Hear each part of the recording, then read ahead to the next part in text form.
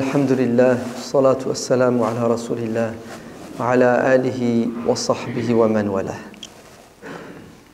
Oui, c'est la rentrée. La rentrée scolaire, certes, mais la rentrée aussi de nos politiciens qui sont revenus de vacances. Parlons d'abord de la rentrée politique et ensuite de la rentrée scolaire. La campagne bat son plein désormais, puisque pour les primaires, nous avons plusieurs candidats, et chaque candidat est dans la surenchère. Oui, on dirait que le thème, la thématique des primaires et par ricochet de la présidentielle et sera l'islam, les musulmans. D'ailleurs, pour ceux qui sont un peu au fait du politique, ça fait déjà plus de deux ans qu'on nous a avertis en nous disant qu'en 2017, les débats politiques tourneront autour du fait islamique. Et là, au moins, on peut dire que certains politiques tiennent leur parole, leur engagement. Ce qu'ils disent, ils le font. Le problème, c'est qu'une partie, et la majorité malheureusement de la communauté française musulmane, ne fait pas ce qu'il devrait, ce qui devrait être fait.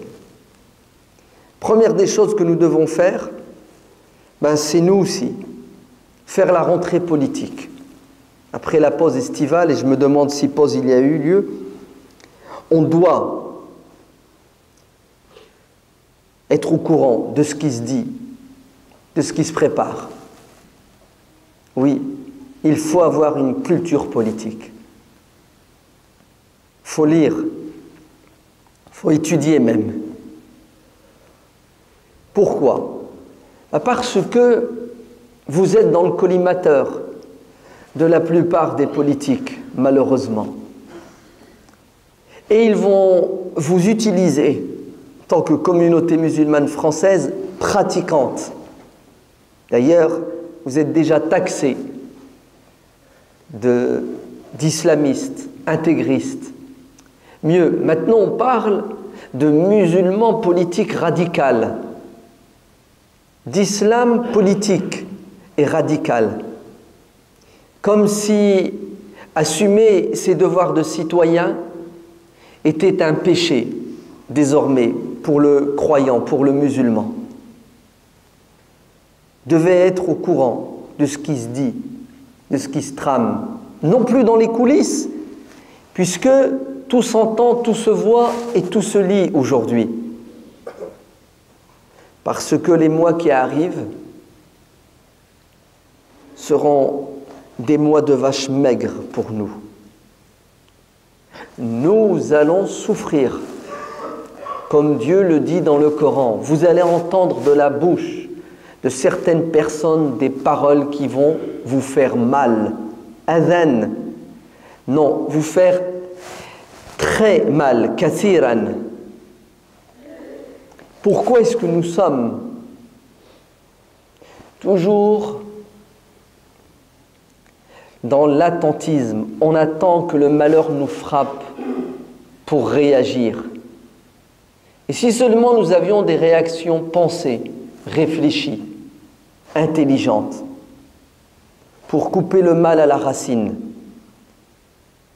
Nos réactions sont toujours l'expression de l'émotion et de la passion, et elles ne mènent jamais à l'action.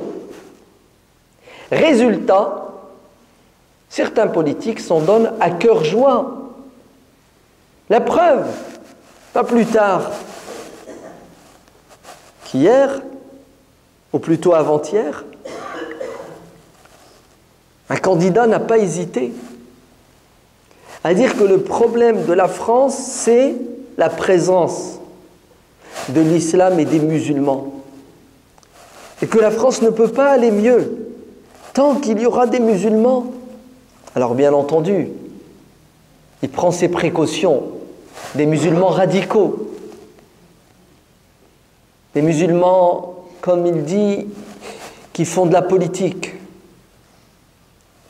Et bien entendu, vous mettez derrière radical et politique qui vous voulez. Et c'est toute la communauté musulmane qui est jetée en pâture. Et d'ailleurs, c'est voulu, parce qu'ils n'ont plus de projet pour la société. Et d'ailleurs, j'ai même envie de dire, et s'ils avaient un projet, ont-ils les moyens pour mettre en pratique leur politique? Je crois que nos pauvres politiques ne sont plus que des marionnettes entre les mains de ceux qui dirigent le monde aujourd'hui. On est dans la mondialisation. On a perdu notre indépendance politique et économique. Alors au lieu de parler des vrais problèmes de la société, notamment le chômage, la précarité, on crée des faux problèmes. Le Burkini, maintenant l'islam radical et politique, et peut-être demain encore des attentats. Et on va surfer sur la vague du terrorisme islamiste. Et pourquoi cela? C'est parce que nous ne voulons pas, en tant que citoyens musulmans, assumer notre responsabilité et dire ça suffit. Vous ne resterez pas dans l'impunité. Heureusement qu'il y a le CCIF qui fait un très bon travail pour traîner devant la justice ces hommes et ces femmes qui appellent à la haine, qui divisent notre société. Mais le travail du CCIF n'est pas suffisant. Croire que les démarches faites par le CCIF suffisent, c'est à nouveau une manière indirecte de nous déresponsabiliser en tant qu'individus, en tant que citoyens, et croire et penser que d'autres vont faire le travail à notre place. Nous sommes tous responsables de ce qui se passe et de ce qui va se passer si nous ne décidons pas de faire pression sur les politiques pour qu'ils arrêtent d'utiliser l'islam, la communauté musulmane, pour atteindre leur objectif malsain. Vous allez me dire comment faire? Déjà être au courant de ce qui se dit. Deuxièmement, vous préparer à participer aux primaires qui auront lieu au mois de novembre. On attend pour voir si la gauche, oui ou non, va annoncer des primaires. Mais en tout cas, à droite, il y a des primaires.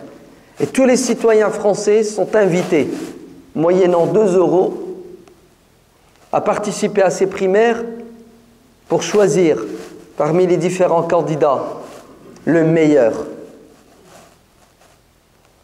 ou le moins pire. Restez les bras croisés et laissez les autres faire un choix à votre place. C'est un suicide politique et social et même, on va aller plus loin, religieux. Puisqu'il y a des candidats ouvertement qui disent que 2017 sera l'année de l'interdiction du voile islamique dans l'espace public. Vous entendez? Après l'interdiction du voile à l'école, l'interdiction de la burqa, la troisième étape, c'est l'interdiction du voile tout court dans l'espace public. La quatrième étape, et vous n'avez pas besoin de beaucoup d'imagination, ce sera sans doute l'interdiction de la jupe longue. La cinquième, je m'arrête ici. Oui, on dirait que la chasse aux sorcières est ouverte. Mais pourquoi est-ce que nous acceptons le statut de bouc émissaire alors que nous sommes dans un pays de droit, dans un pays où vous avez une égalité de chance, à condition que vous saisissiez cette chance? Saisir la chance, c'est s'engager. Ne pas laisser les autres décider de notre destin, mais de participer avec toutes les forces vives et actives, sincères et honnêtes de notre pays à la construction de la France de demain.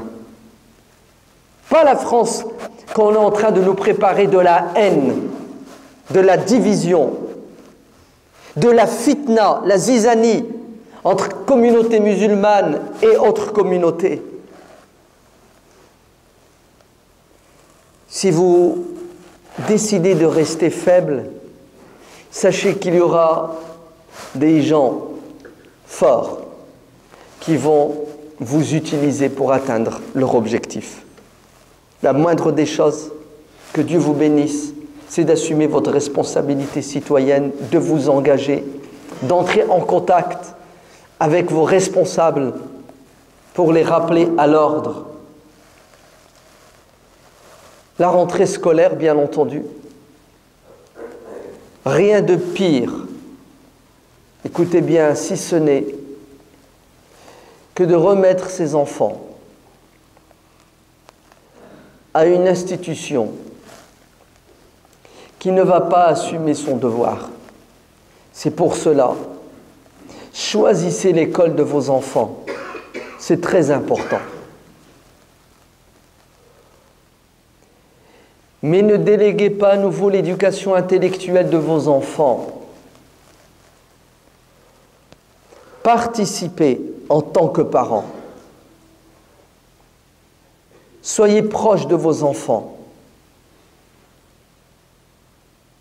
Vos devoirs ne sont pas uniquement de travailler pour l'entretien du corps de vos enfants. Wallahi, le cœur de vos enfants est beaucoup plus important que leur corps. La santé spirituelle et intellectuelle de vos enfants doit être votre souci premier. Mais comment voulez-vous que des enfants soient équilibrés, soient épanouis, lorsque le père est absent et la mère se retrouve seule à gérer l'éducation spirituelle, intellectuelle éthique et physique des enfants. L'éducation intellectuelle de vos enfants n'incombe pas aux profs, uniquement à votre épouse, uniquement, mais surtout et avant tout à vous, car vous êtes le gardien du troupeau. Vous aussi, vous devez faire votre rentrée scolaire. Vous devez participer à la bonne gestion de l'école où se trouvent vos enfants, en adhérant à l'association des parents d'élèves, en vous présentant pour être au service de la communauté scolaire. Sinon, vous allez encore vous plaindre. Et d'ailleurs, le scandale arrive, puisqu'ils vont encore le créer, des cantines. Le halal à la cantine. La politique de la chaise vide est un crime. Si vous n'êtes pas présent là où ça se discute, pour échanger, pour prendre des décisions de manière collégiale, vous allez subir et d'autres décideront non pas pour vous, mais pour vos enfants et les enfants de vos enfants.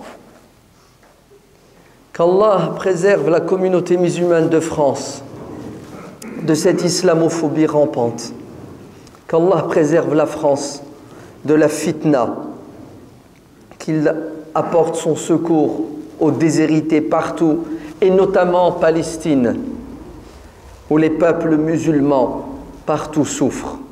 Qu'Allah fasse miséricorde à nos parents, qu'il leur accorde le paradis, qu'il nous donne la sincérité dans nos intentions, nos paroles et nos actes, qu'il nous donne la force et le courage de pratiquer notre religion malgré la pression. ربنا آتنا في الدنيا حسنة وفي الآخرة حسنة وقنا عذاب النار سبحان ربك رب العزة عما يصفون وسلام على المرسلين والحمد لله رب العالمين